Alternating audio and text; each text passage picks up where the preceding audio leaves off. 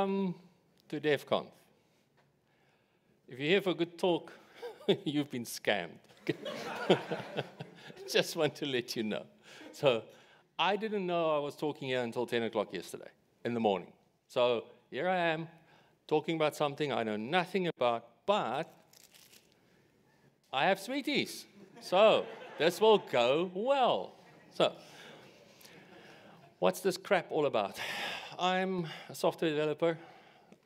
You can say, We're sorry. I do back end development, not because I want to, but because I suck at UX. And the only thing I can write, uh, people at the back, please, please come forward, come forward, please, please, come. You're not in the shot, come. You, you can come forward. I do software development for, for companies. I do really boring stuff. I write APIs, I create bugs, I annoy uh, project managers, and I miss deadlines. If any of that resonates with you and you want to level up that, come see me afterwards. I can tell you how to bring people to tears without even effort. All right. So, one of the things that I noticed over my almost three decades career is that somewhere along the line, fun left the building. And with fun, I mean not bursting out in tears every time I opened the laptop and went, oh, fuck, not this again. Okay. So for me, for me, when I started out with programming, the very first program that I wrote was in GW Basic, and I put my name on the screen, just my name, from code that I'd copied from a book in the library, and I copied like, like my ass. So it took me days to figure out why wasn't it working, what did I spell wrong, all that. People in the back, please um, forward, forward, forward, forward, forward. I can't, I can't, I can't go and do this right? If you if you're too far away. So yeah, I got hard shit as well. So watch it. So um, just just out of interest, who does not have good medical aid? okay, I will I will throw something soft at you. So the rest, sorry. So anyway, so I remember when I wanted to spend time behind my computer. I remember when it was actually fun to go and switch on the thing. I remember my mum yelling at me, not even I can use that language, to, to, to go to bed now because I've been sitting in front of the uh, computer for, for a, a little while. So it used to be fun, right? It used to be something that I wanted to do and I wanted to get into. And somewhere along it disappeared because we started using cuck like C sharp or Java, you know. So, so we, we, use, we use all this stuff. Who's a .NET developer here? Fucking losers. But anyway, so, so the thing is, we, we, we kind of start using these things because we're forced to do this at work, and it's not really fun anymore. So honestly, if, if, if, you, if you think about this, when's the last time, you at the back, you at the back, Come forward. Please, people, come forward. I can't, I can't reach that far. So the thing is, when's the last time that you opened your computer and started doing something just for fun? Just, just for yourself with no purpose whatsoever. Literally just to try something out. Come on, who's got a story like that? Anybody? Please don't have a story because you will fuck up my talk. So. you, you can tell us your story later, okay. so so what, what, I, what, I, what, I, what I set out to do is I set out to find ways to use the stuff that I'm forced to use at work to have a little bit of fun because that way I bullshit my manager into thinking that what I'm doing is work related and my expenses on, on Udemy and stuff is work related and and I'm just I'm just doing my best to be a better developer, man. So get off my fucking back. So this stuff is important. I, I need to learn new things, right? Are you are you are you with me? Here you go. It's yours. Okay, so now if you want the code, and I recommend you use someone else's computer to run this on, but you can get the code if you want. It's somewhere on um, Git, Gitsteel, Git, what's the place? Git, GitHub. So GitHub, GitHub, GitHub has it and it's obviously in ChatGTP and stuff by the way then uh, as well. So you can just go and say, ChatGTP, make me a fun program, and all my shit will come up. I'm very sure of that. So I'm going to use something called Go. Are there any Go developers here? Okay, shut up, shut up, shut up. Don't comment on my code, okay? So just, just don't. For everybody else, this is best practice Go code. so, so, wow, that was quite a reaction. Thanks a lot. So I'm going to use Go. I'm going to use something called Ebitengine or eBit, I don't know how you pronounce it, but it's, it's a thing that moves bits around an engine thing. So it's, it's out there. If you're interested in learning Go, Free Code Camp has got a bafokte video that you have to go watch. It's, it's like seven hours, but after that, you can legitimately call yourself a Go developer and you can double your salary. So it's, it's really worth learning. I love just like the timer just said nine seconds remaining. Um, so, so I would recommend that you go look at Go if you want to play with eBit. They've got this little cheat sheet thing that you can go play with, and the cheat sheet shows you how to cheat at eBit. It's fucking amazing how they came up with that name. I can't believe it. So, um, does anybody want some sweeties? There we go. There we go. So, and then a couple that way. Okay, so I use I use. Um, this IntelliJ IDE, but you don't have to. You can use Visual Studio Code. It's got phenomenal support for Go. It really works very well. If you haven't looked at Go yet, you really should. I don't know what programming language you use, but it sucks. Um, Go, Go sucks a little bit, but not as much as what you're using. I can promise you that. Okay, so if you if you've ever worked with me, you know that I'm cuck at all programming languages, and I've used a lot of them. So if I tell you that Go sucks the least, that's like a gold standard, and you should, you should definitely take me serious on that. So, um, and, and just to make my point, I'm just going to throw some stuff into the audience and see what happens. Ooh, sorry about that. We're going to miss that person. Um, so let's, let's, let's look at some Go code first of all. Okay, so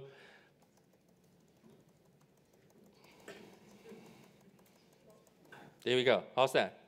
We can, we can all almost see that. Okay, people at the back can see it, right? Perfect. So this is best practice code once again. So what we have is we have a main function, which is your main function. That's where shit starts. That's all you need to know about Go. Wherever things go wrong, it started at main. I can promise you it started at main, and that is where it went wrong. Sort of, kind of. Oh, the, the, the photo tiny is here. Does everybody wave? All right.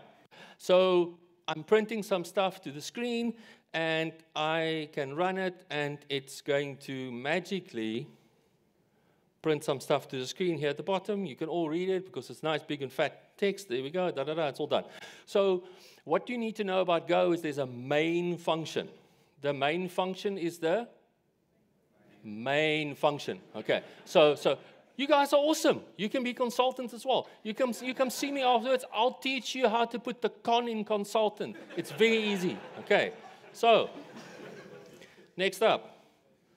Uh, uh, uh, uh, okay, so this is code I stole.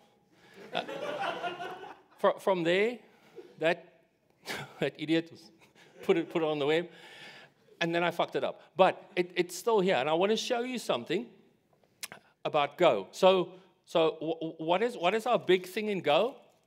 The main function. All right. So, so once again, we have a main function. There we go. It's for you. So once again, we have a main function. And in the main function, we do things. So when things go wrong in Go, where does it go wrong? Fucking A. This is awesome. this is so easy. This is a smart crowd. All right. You guys should get into IT. You've got a future. All right. So what do we do? We make a window of a certain size. We give it a title. Everybody knows what a window is. Everybody knows what a window title is. If you don't, get the fuck out.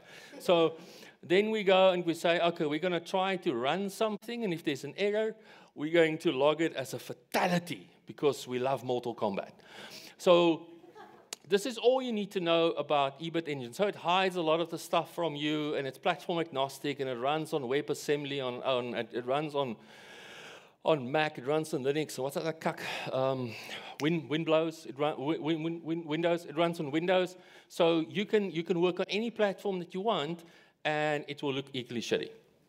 But what we, what we need to remember is there's a main function. We do stuff in the main function. That's where things go Wrong. All right, awesome, splendid. Now, with Go, you don't have um, object orientation or any of that kind of stuff. You have these structs, which are like structures, which is like records, which is like little thingies that you put shit in, and then it remembers the thingies, and you can add some features to the thingies. And how you add features to the thingies is you say, I want to attach a function, want to create a function that is going to receive a copy of my structure, and I'm going to add a function called update. It's going to return an error, and it's going to return null. So who works in a programming language that supports null? Right. Null is very old school, okay? We now talk about nil. So nil. All the cool kids talk about nil. So, so if your language is null, uh, uh, null is draw, okay? So you want to go null. That's, that's the cool thing, okay? Um, just, just know that. I'm, I do not want to go into exactly how Go works because we don't have a lot of time for that. But what I want to show you is the basic structures that you can use to start putting stuff together for yourself. Now, remember, our ultimate goal is to have a little bit of fun with this. But we also want to make it so that people think that what we're doing is work. So, whoop, missed you, missed you, and missed you. Okay. So what do you think update does? It does fuck all. Can't you tell? what kind of developers are you? It returns fuck all. So it does fuck all, all right? So it's important to know that things do nothing, okay? What does draw do? It doesn't do nothing. What does draw do? It prints something on the screen. I love that. All right. So, and layout. Fuck knows what it does. But you have to have it, otherwise things don't work. So, now, now, if we run this, and if it runs, because, you know, I never know. Okay, all right. So, with very little effort, we have a window that prints something that will work on Mac Windows, Linux, and the web. It's written in Go, so you can charge 15 times what you would in any other language you can charge because nobody knows what the hell's going on in Go, and because it's got nil, not null. And, and, and that's the big thing, right? And then we can close it, and that's it. So what, what did we have? We had an empty structure, we had an update, we had a draw, we had a layout, and then we had a main, because main is the main function. All right, just keep, keep up, keep up. See if you can keep up. Okay, so now we go and we see if we can add something to this. All right, now, there's, there's, there's a couple of smarty pants here. What's happening in the init function? There's an image being loaded somewhere, all right? And this is, this is where, where I really like Go from the, from the simple perspective that I have to deal with errors where they happen. If you work in something like um, uh, C Sharp or Java, right? If you work in those old languages with null, then you can just bubble up exceptions, right? And, and, and, and exceptions are just a waste of time because exceptions can be thrown and rethrown and rethrown and rethrown and thrown again. And eventually you throw thrown so much exceptions, you just keep throwing up because of exceptions because you don't know where the hell the exception is going and how you're going to debug that shit, which is very difficult. I work as a consultant at companies. I charge them per day to work there, and I fucking charge them. So for me, the faster I can do work, the quicker I can get it done, the more money I make for the day. Because if I only spend an hour working today and I charge for nine, that's not bad. So, but if you work, if you work with Java or C Sharp, then you're going to spend the whole fucking nine hours working, and and that's that's just not cool. Okay, so I like the fact that I have to deal with errors where they happen or not. I can also just go like fuck it, I don't care, and go will go. Well, you're the developer. It's your foot that we're shooting off. Let's go for it, buddy. So I love the fact that I have error handling where errors happen and I'm not bubbling up somewhere. That's something I like about Go. And this is also just to make it relevant to my boss eventually going to watch this talk and go like, what the fuck are you doing? So I can say, no, I'm actually teaching people Go best practice. So now that we've loaded the image, we have the structure for our little game again. And because our game does nothing, there's nothing in the structure, okay? Now, what does update do? Nothing, all right. Update just returns nil. Nil is cooler than null because nil's faster to type. Remember, time is of essence here, okay? So people, people got to, got to, got to think. Yeah. There we go, got that one in the eye. All right, so now we draw the image. We draw the image, we do the layout thing, and the layout thing has got your world view and perspective and all that. I don't want to get into that because it takes forever. But what is interesting is if we look at main, main hasn't changed, right? So we, we create a window, we create a title, and we say run the game. And the only thing that I've changed there is how we trap the error. So I say, if assigning the error means the error is not null, log a fatality. Okay? Who hasn't played Mortal Kombat? Okay, so you guys all know what fatality is. It's like, it's like when you start a new C sharp project, you fucked. So fatality is exactly the same kind of thing, right? So we haven't changed anything, but with very little effort, once again, if it runs, we can load an image and we can display it in the window. And again, remember this is cross platform, but it's not cross platform in the fucked up way. This is actually a native binary for every platform that you can build. So this is not this is not some kind of a HTML embedded browser thing, 300 megabyte runtime, blah blah blah. This is a native binary. Go builds native binaries. So if your deployment speed and size and all of that matters, then Go can build very small little binaries that you can push into Kubernetes or wherever, and uh, it's self-contained, The blah, blah, blah, blah, all those wonderful things that people care about. But I don't give a shit because I can just do things like that. I can just load images quickly and easily and display them. Okay, cool. So now that, now that, now that we are experts at loading images, let's go and see if we can do something else. And I will allow for questions a little bit later. No opinions. I don't give a fuck about your opinion. But you can ask questions and I can refer you to the documentation. But th th that's as far as we're going to get. Now, now the game is changing though, because in the structure, we're putting a little something. We're putting values. We want to keep track of those three values. And we now have a function that's connected to the game structure.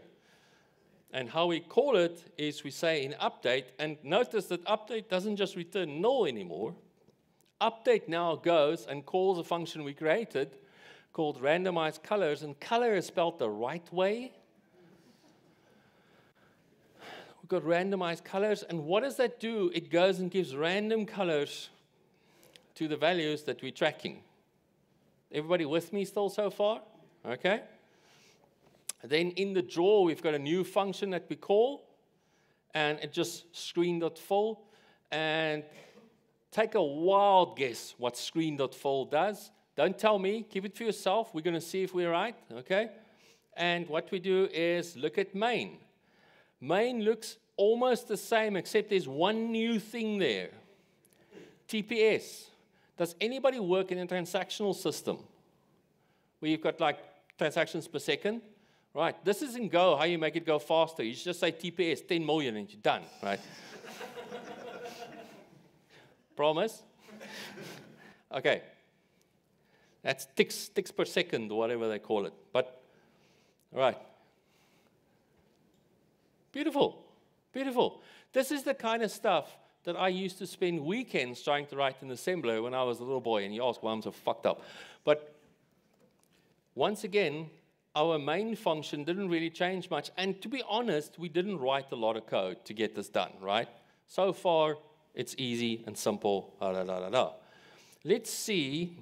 Let's see if we can do something more. And this time, we see that update does what again? Nothing, just returns nil, the fancy null. Okay. And then we draw something, and draw's got a thing called screen.set. If, if you are old enough, you will know what a pixel is. Okay. So a pixel is a little doiky there on the screen. And if, you, if you're close enough, you can see the little dots on the screen, and that's all a pixel. I don't want to get into subpixels and all that kind of stuff, but the, the thing is, you can set a pixel, you can set a color. And back in the day, when, when, when I started programming, you could make it on or off. So you could have, you could have a green pixel or no pixel. So, or an, or an amber colored pixel or no pixel. Later we got fancy and you could have a pixel 16 different colors and then 256 colors, and then the world just went to shit with all these high def and whatever. So you can't keep track of it anymore. But anyway, so we can anywhere on the screen we can go and we can say that pixel I want that particular color. Does that make sense? What what what what, what set does? Question. Yes. Because nil is cooler. No is so much cooler. Void is four characters, no is three. So, so on a big code base, you you're saving millions of characters, like, like millions. Do you know how much disk space costs on AWS? Bro, we're trying to save money here. Work with me, work with me. All right, so uh, I don't know, they were drunk. You know, it was, it was one of those things. So we, we've got the little draw function looks different. And then once again, our main function looks pretty much familiar, right? And we know where things go wrong. Things go wrong in? All right. No, you guys, you guys are ready for the big leagues.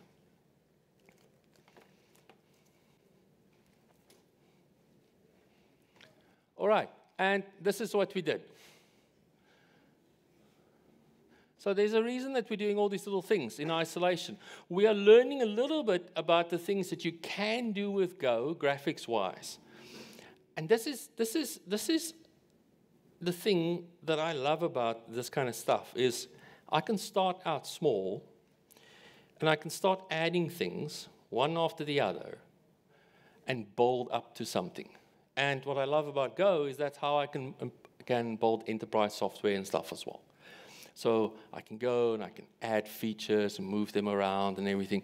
And because I don't have object orientation and all that kind of fluff that keeps in the way, I can really reason about what I'm doing. And because I'm handling errors where they happen, it's easy for me to start looking at where did a bug happen because I know if something went wrong with loading the image file, I can go look inside the init method in this case and figure out where did that go wrong and how. I don't have to go through a whole core hierarchy to figure out where it is. Okay. So again, time is of the essence. The less time I spend finding the bug, the more profit I make. So, so like I said, if you want to know how to con in consulting, come see me afterwards. I'll teach you all the tricks. Um, I know a good lawyer as well, which you're going to fucking need. So, all right. So now, now we're getting fancy. We're loading twice as many images. So two. But I mean, still, it's, it's, it's like 100% more, right? And we're putting some stuff inside our structure. And the structure, you can think of it kind of like a, like a memory space that you want to reserve, where you want to have these associated values saved to each other. And update, you'll see now calls a little function that we created. And inside that function, we have some values that we update and da da da. Nobody really cares about what's happening there. But if you care about it and you quickly read it, anybody who's done any kind of development will quickly be able to read what's going on there and kind of grok what's going on. And I've helped some teams migrate from other languages to Go. Because it's such a simple language that even I can understand it, it's very easy to teach it to other people. It doesn't have fancy tricks or keywords or async or any of that kind of bullshit that nobody knows what's going on. So you can just read the code, and what you read is what's happening. It doesn't have, it doesn't have any kind of implicit fuck you, Scala, and all that, where, where you think the code does something, but because someone imported something else, it does something completely different. So, so Go is nice and simple and quick and easy, right? I love that. I love the fact that I don't have to think because that's just one more benefit to being a consultant. You don't, you just sit and just get paid. I do have to look pretty. So, but other than that, I can just sit there. So draw, draw now looks a little bit more complicated, right? So we do some, some hard work here in Draw. We create a thing that we, that's the draw image options, and that helps us to scale images, it helps us to rotate images, and it helps us to translate images. And translate is just moving stuff around in space. Okay, so now can we get security to throw that guy out? right. So now we also have an init because we have some values and stuff that we need to set up. So our main function looks a little bit different to previously, but it's still the main function. It's still the, it's still the key culprit and whatever goes wrong. We still have a TPS. In this case, we're asking for 25 ticks per second, 25 updates per second. I think that's a fine enough screen rate for what we are trying to achieve. You don't have to do 60 frames per second all the time. Um, you know, we've got to save like the planet CUC and, uh, uh, and save power and stuff for Eskom's sake. Um, so we, we have a little bit less TPS. And now we call our init, which returns a pointer to the game, and Go has pointers. Uh, I'm not going to lie to you, Go has pointers. Go doesn't have C or C++ uh, style pointers. So you, you're not going to foot gun yourself all the time. Go's pointers are just like you can either call by value or call by reference. What I love about Go is it's explicit about whether you're calling something by value or by reference. So you can see this is being called by reference because it's a pointer, or you can see it's being called by value because it's not a pointer, so it's a copy. So depending on what you want to do, that might be more memory efficient, it might just be more efficient in general, or you want to send it into a function that's going to change it and send it back, or well, there's a whole bunch of reasons.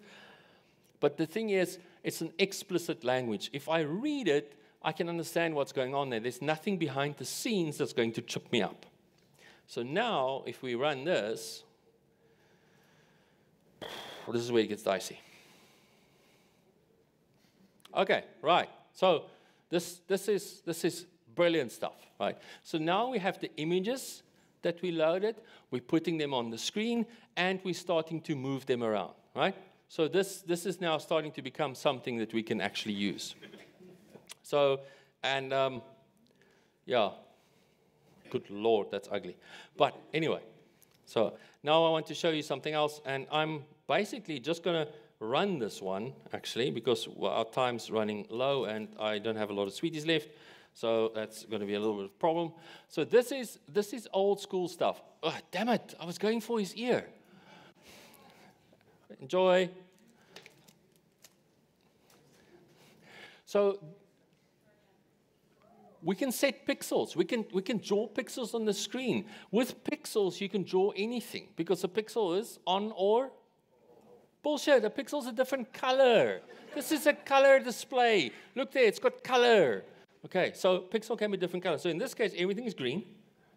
And the reason for it is I stole this. I'm just saying, I stole it. I didn't want to write all this.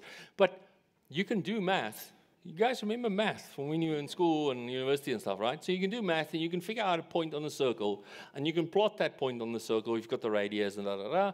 So this is what you can do. You can set the pixels one by one if you really want to. So Ebitengine allows you to do this. And back in the day, some of you here will remember that. That was the only way that you could draw to the screen, pixel by pixel. Even functions that drew a line literally was just a for loop running between the points dotting pixels. So we didn't have vector graphics and all that kind of stuff. Because you have pixels, you can do this kind of thing. But our main function still looks the same. Do you know how much you get with Ebitengine for free? Because all of this shit just works across all the platforms. And now, now that we have that,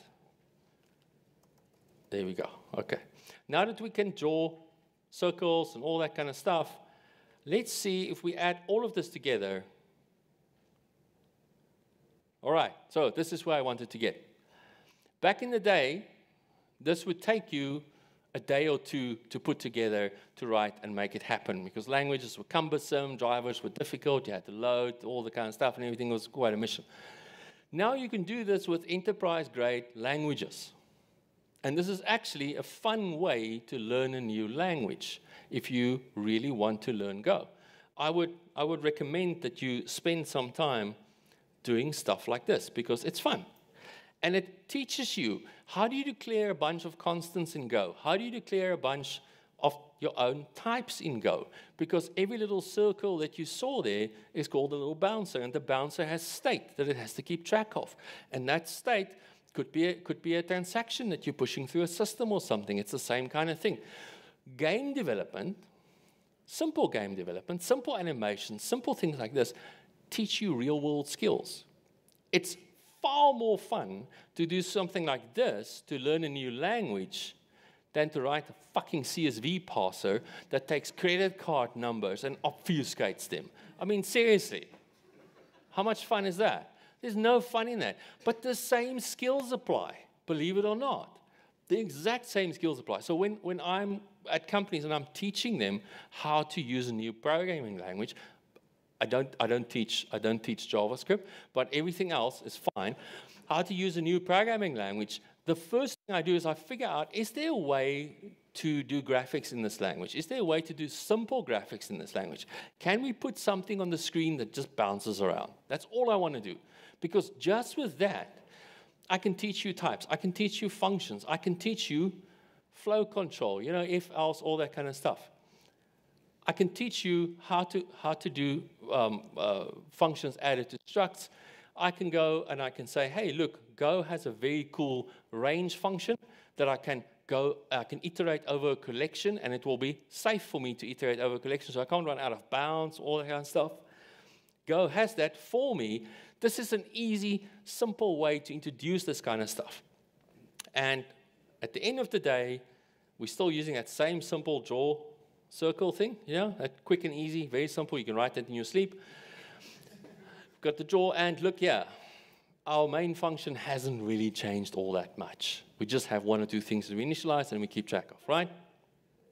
So the last one is, I don't know if, they, if this makes um, Oh, this, this one, this one, sorry, I, I actually do want to show you this one because for there are one or two people in the audience that's going to ask me about this. Yes, you can write your own shaders in here as well. So what we did is we, we create a shader, da da da da da, and there's the, there's the OpenGL shader. People that's done OpenGL will recognize this. So it's just a simple fragment shader. At this stage just returns the color of that position. And that now gets used to draw the circle. And there you can see there's the whole way that you can, oh, you can access OpenGL from this Go language. And there we have the same thing just quickly done with OpenGL. So that, that's shaders running there, da da da da. Um, I don't know if this is worth going for. No, not really. What I wanted to show was this, so that we can have some time for questions and Great.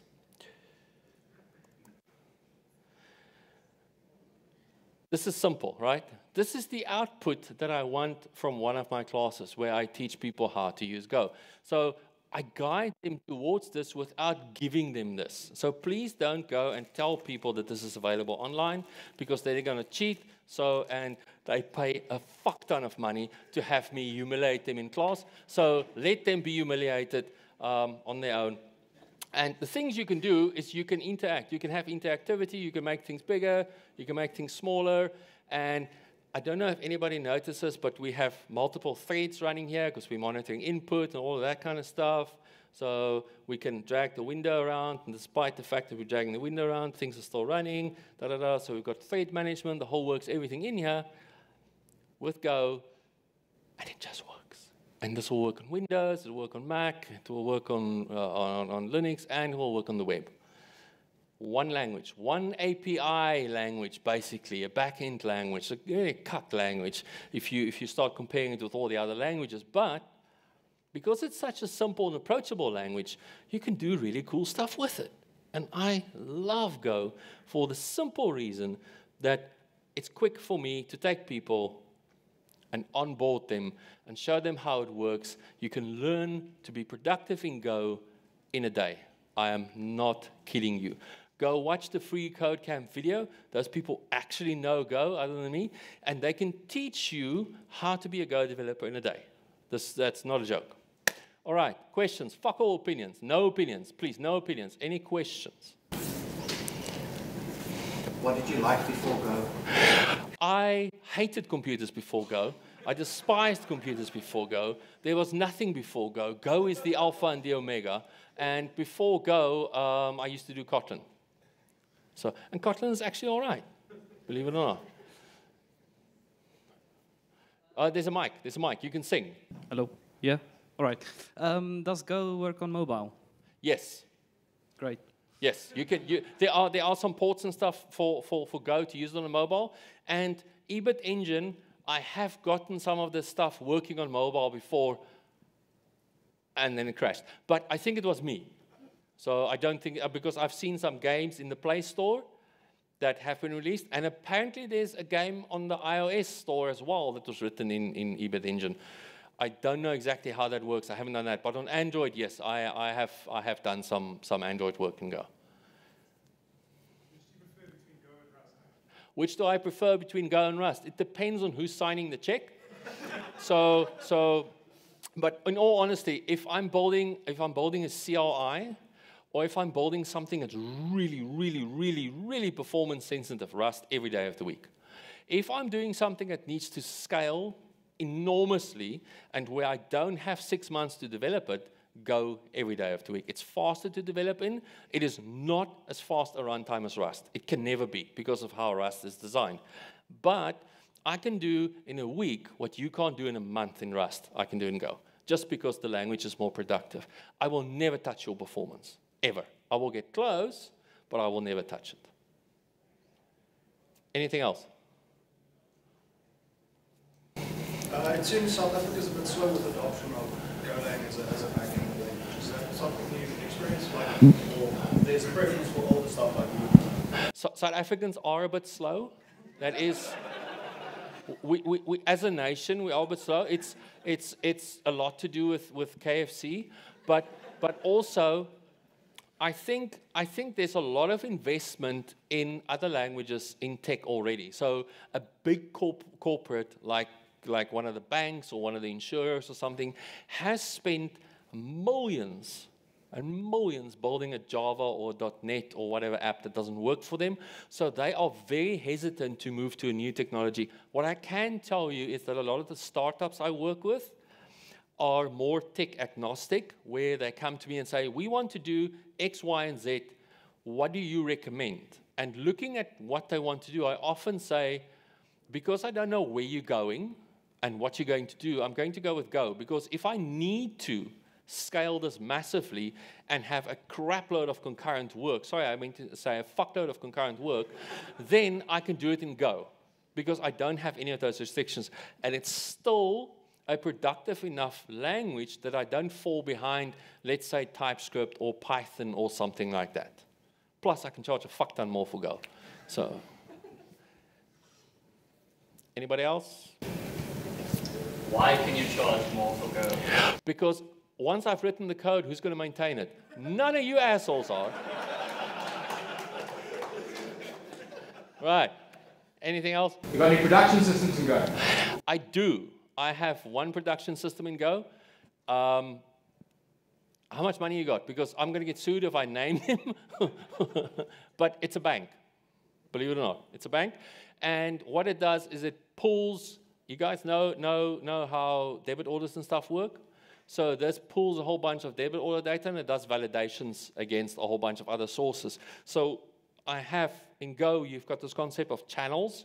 Those are threads that you're running.